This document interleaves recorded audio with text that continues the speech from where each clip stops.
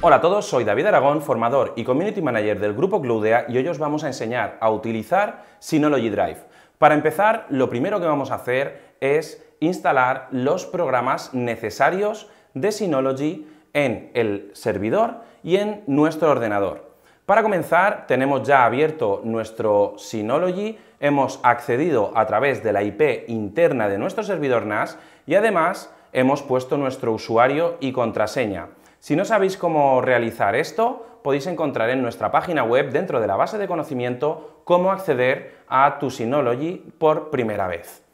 A partir de aquí, accedemos al centro de paquetes y vamos a buscar la aplicación que nos interesa. En este caso, la aplicación es Synology Drive. Como veis, Synology Drive eh, se encuentra dentro de nuestro centro de paquetes y para instalarlo simplemente vamos a necesitar hacer clic en el botón de instalar. En caso de que no lo hayáis instalado nunca, Synology Drive os va a pedir, aparte de lo que hemos visto en pantalla, que realicéis la instalación de los paquetes complementarios que necesita Synology Drive para funcionar. Si os encontráis con esta ventana, simplemente tendréis que hacer clic en aceptar y va a hacerlo de forma totalmente automática para instalar todo el software que necesita nuestro servidor NAS Synology. Por supuesto, para realizar esto, lo que hemos hecho es acceder como administradores, con una cuenta de administrador, y para gestionar todo nuestro Synology Drive os aconsejamos que todos los usuarios que accedan tengan su propio usuario. Por supuesto, esto lo vamos a hacer a través de panel de control, dentro de usuarios, vamos a poder realizar la configuración de diferentes usuarios. Ya está instalado Synology Drive en nuestro servidor NAS, en este caso estamos trabajando con un servidor NAS Synology DS918 Plus que podréis encontrar en nuestra tienda online. Como veis, Synology Drive ha instalado la consola de administración de Synology Drive, Synology Drive en sí y Synology Drive Share Sync. Synology Drive Share Sync es una aplicación que veremos en otro vídeo. Vamos a acceder a la consola de administración de Synology Drive y lo que nos comenta por primera vez es que al tener esta aplicación recién instalada debemos de reiniciar la página web. Vuelve a cargar y simplemente volvemos a hacer clic sobre la consola y accedemos. Como veis, Synology Drive está configurado y habilitado. Lo primero que vamos a tener que hacer es ver las carpetas de equipo si tenemos alguna habilitada. Si no tenemos ninguna carpeta de equipo, vamos a necesitar realizarla. Lo primero que vamos a hacer es acceder a panel de control, vamos a crear una nueva carpeta compartida y la vamos a llamar Drive General. Esta la vamos a utilizar para compartición de archivos de todos los usuarios. Hacemos clic en Siguiente, de nuevo clic en Siguiente y ya tendríamos nuestra carpeta creada.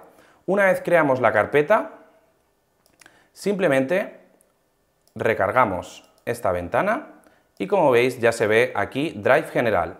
Ahora lo único que tenemos que hacer es habilitarla y configurar el control de versiones. Esto es muy importante ya que si tenemos un número máximo de versiones muy alto, vamos a saturar nuestro servidor NAS. Yo siempre pongo una configuración de máximo 5 versiones. A partir de aquí vamos a utilizar IntelliVersioning y vamos a rotar las versiones de forma regular cada 120 días. ¿Qué significa esto? Cada 120 días las versiones antiguas que no se hayan utilizado se van a eliminar de forma automática. Esto va a hacer que cuando estemos trabajando en un entorno multiusuario no se sobrecargue el almacenamiento de nuestro servidor NAS. Hacemos clic en OK y ya tendremos nuestra primera carpeta compartida. Ahora nos va a pedir Synology que eh, configuremos nuestro team folder. Esto es para que tengamos cada uno un archivo. Lo tenemos activado y una de las cosas que os aconsejo es que accedáis al panel de control y dentro de usuario, en la pestaña avanzado, habilitéis el servicio de inicio de usuario.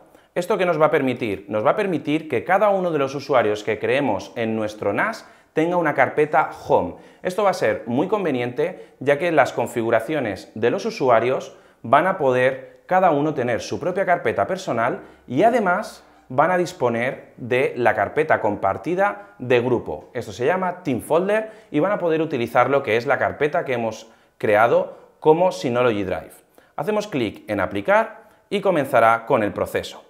Cerramos todo y vamos a acceder también dentro de Synology, de la consola de Synology Drive, a la configuración y aquí, como veis, en otros tendremos el cálculo de las versiones, podremos habilitar su, limpieza, etc. Además, también vamos a habilitar la indexación de contenidos para Team Folders, ya que esto nos va a ayudar a que la sincronización sea mucho más rápida. Hacemos clic en Aplicar y ya tendríamos la configuración básica de nuestro equipo. Es muy importante que si vamos a trabajar con este sistema en movilidad, tengamos configurado dentro de panel de control el acceso externo a nuestro servidor NAS. Como veis, aquí lo tenemos configurado y lo ideal sería agregar un DDNS a nuestro servicio. Si además redireccionamos el puerto 5000 de nuestro router al servidor NAS, vamos a tener un sistema de nube privada que vamos a poder utilizar tanto dentro de nuestro hogar u oficina o desde el exterior, desde cualquier dispositivo, ya sea un portátil, un dispositivo móvil o una tablet.